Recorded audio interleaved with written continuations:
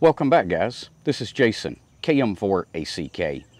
Today I wanted to take just a few minutes to discuss the differences between WinLink over 2 meter and WinLink over HF. Stick around and we'll get right to it.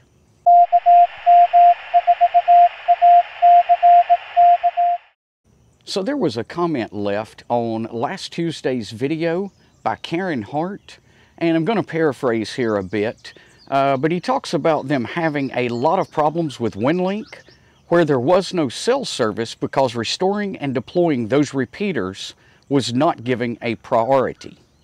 And he's referencing the relief efforts following Hurricane Maria in Puerto Rico. So I wanted to take just a few minutes to kind of uh, explore that a bit. Now, first, let me say I have no clue what kind of gear those guys had, what kind of training those guys had. Uh, you know, I'm, I'm, sure they were doing the absolute best they could with the uh, situation that they were given. But it sounds to me like they were trying to use WinLink over 2 meter from the way that comment read. Uh, and we can run into some real problems, especially when we have a disaster like Maria that is so widespread.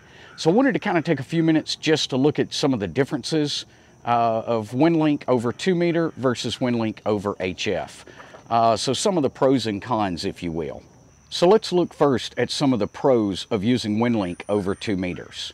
First, it's faster. You're running either 1200 or 9600 baud uh, packet, so it's uh, at least four times faster than working with HF. Another uh, big advantage is you can get away with using less expensive radios. You don't need um, you don't need an HF radio to do this. In fact, I've even hooked it up and ran uh, two meter WinLink over a Baofeng before. Not a great experience, but it did work. But with two meters, you're, you have limited range. Uh, it's basically line of sight, uh, just like voice would work. Uh, you might get a little bit more out of it uh, than voice, but not by much. And two meter gateways can be easily taken offline in an event like Maria that was so, uh, that was so widespread.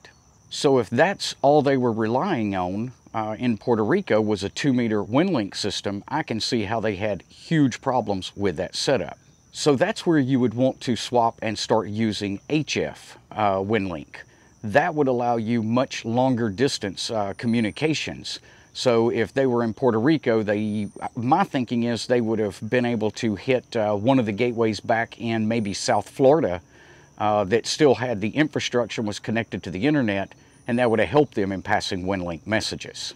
However, there are a few cons with using WinLink HF. First off, you need a more expensive radio. Uh, HF radios are quite a bit more expensive, typically speaking, than your two meter radios.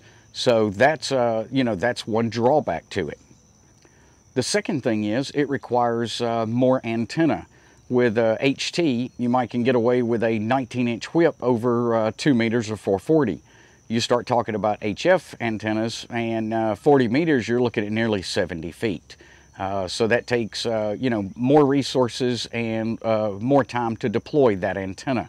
And then the other thing with HF that's a, a drawback is the speed.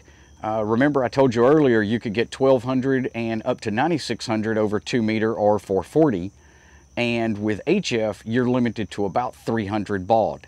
So, uh, you know, you, you've got a lot slower speeds to work with.